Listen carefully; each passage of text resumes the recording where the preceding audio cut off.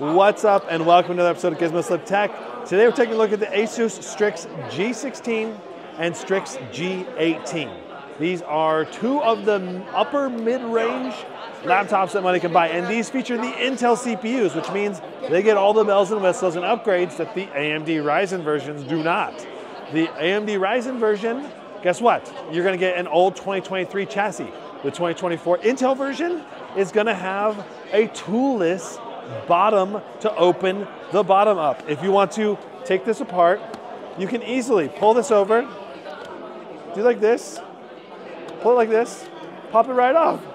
And now you can upgrade your SSD, your RAM, your uh, clean out your fans, uh, your Wi-Fi card, uh, check your battery or change your battery out. There's so much upgradability here. Uh, quick, easy access. Notice we also have vapor chamber cooling, a tri-fan vapor chamber cooling system, super sick and super awesome. And also notice the 360 degree light bar. You get none of this in the Ryzen version of the G16 and G18, which is just like, it really sucks that you don't get the full access or the full feature set uh, that the Intel does if you want to get Ryzen. So I just really, really wish Asus would provide Ryzen variant for especially their highest end, at least the SCAR series. I understand maybe the budget end, budget entry ones, they want to use the old 2023 chassis up or something like that. But I mean, uh, yeah, I really like these new chassis. And there's more upgrades besides that. You also have an IR camera, Windows Hello, and it's a 1080p webcam. So uh, there's just like so many different reasons why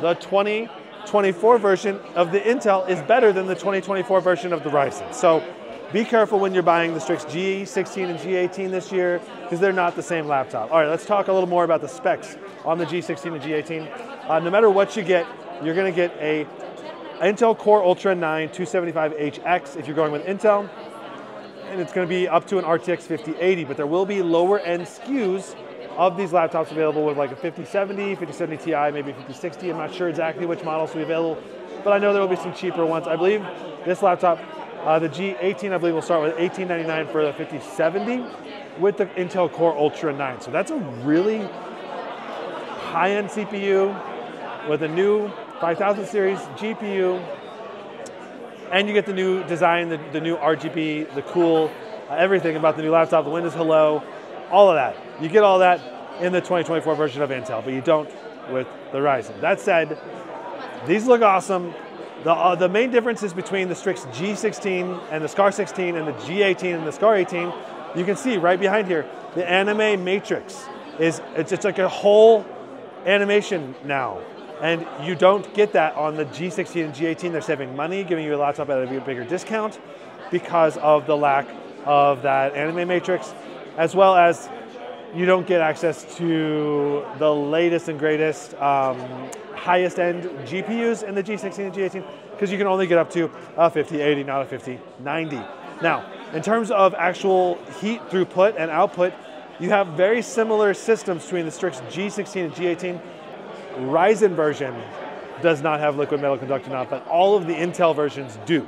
That's like five or six key design changes that make the Intel version just dramatically better than the Ryzen version. So if I were deciding bet between them, yeah, the Ryzen chip might actually outperform the Intel chip in a lot of ways, but you're getting big downgrades in chassis design and uh, usability with Windows Hello and uh, upgradability, ease with the toolless up, uh, upgrade opening of the bottom.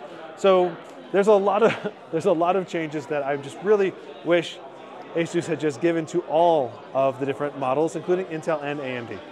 Okay, enough about that. These laptops do look awesome. I think they will be awesome, and they will be worth a pretty penny. They will cost a lot, but I know they start around $18.99 for the low-end model with the Core Ultra 9 275HX. So, anyway, uh, I guess let's actually take a look at the ports real quick as well. It's going to be two USB-A 3.2s on the right. On the left, we have the AMD reversible power plug with an upward-facing Ethernet port, HDMI 2.1, USB 3.2, uh, and then you only have one Thunderbolt 5 on here, but it is a Thunderbolt 5. So that's really great. And you have another uh, USB-C on here and a headset port. So you still get a lot of upgradability. Uh, you still get a, a, lot of really good ports, and at least you get one Thunderbolt 5. So that's good enough. The Scar 16 and Scar 18 have two Thunderbolt 5s though, so that's another key difference between the two units. Anyway, that's it for real. We'll see you in the next one. More CES coverage coming very soon. Brandon, out.